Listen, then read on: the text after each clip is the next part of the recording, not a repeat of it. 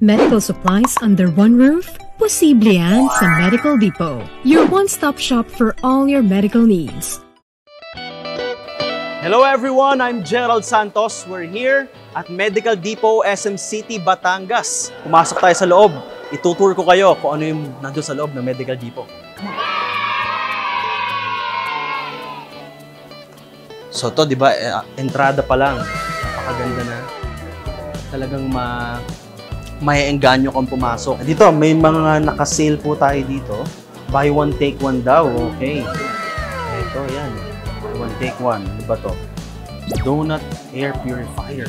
Ito rin. ah, nebulizer. Naka-sale din siya. Tapos may mga ito pang DP. ah, facial steamer. Sa mga gustong mag ah, facial sa bahay, di ba? pwede kang pwede kang bumili nito at maka, makatipid ka sa pag-facial sa sarili mo, di ba? Ito yung mga automatic na ano, nano spray machine. Ito yung mga essentials nowadays, eh, di ba? Makikita mo lagi kapag ka nasa mga public places ka like this. Meron lagi nito yung ah, infrared thermometer. Meron din dito ayan, ah, manual na pang BP. Guys, ano yan ah? Very affordable price. Yan, bambang price ito na dinala nila dito sa mga sa mga commercial areas. Yan, like dito sa SM City, Batangas. Meron akong nebulizer sa bahay eh. Dahil ako may nagbe-breed ako ng mga aso, ng French Bulldogs, ng Bullies. Nagagamit ko siya kapag ka, kapag ka, ano, yung sa mga newborn puppies, kapag ka, nakita mo medyo sinisipon sila. Very useful siya. Hindi lang siya pantao, guys. Ha? So ito yung mesh nebulizer natin, guys, dito sa Medical Depot na battery operated siya. So, hindi mo na kailangang maghanap ng saksakan or magbuhat ng malaking nebulizer. Ito lang, oh, very handy, di ba? So, yan. Pwede nyo rin yung i-avail dito sa Medical Depot. Portable Phlegm Suction Unit. Wow, ito. Sa aming mga singer, actually, before, we use this kapag ka yung pagod na pagod kami.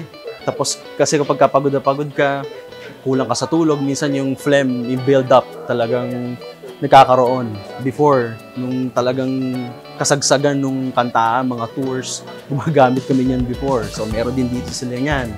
Mga face masks, syempre, yan, isa pang napaka-essential nowadays. Huwag na huwag kayong mawawalan yan, nandito rin po yan. yan.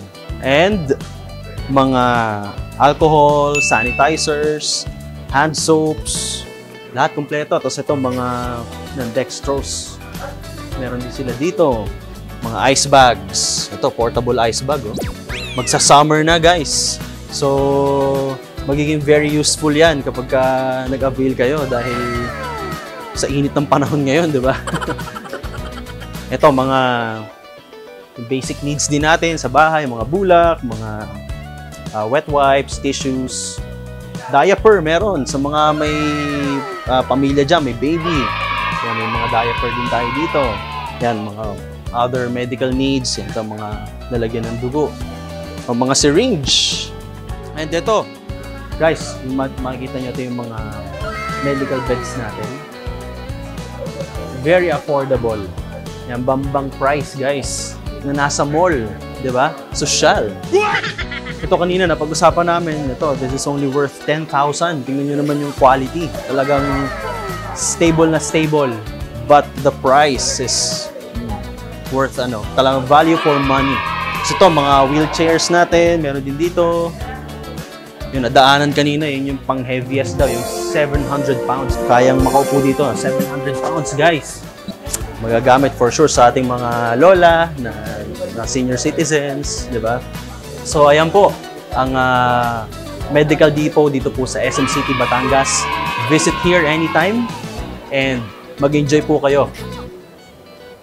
Ah, ah, eh kaganda dito sa Medical Depot, SM City, Batangas. Ano? Ayan, guys, nakita nyo naman, di ba?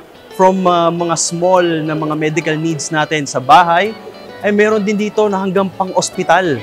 So, wala na kayong hahanaping iba. Kaya, bumisita na po kayo dito sa SM City, Batangas Medical Depot.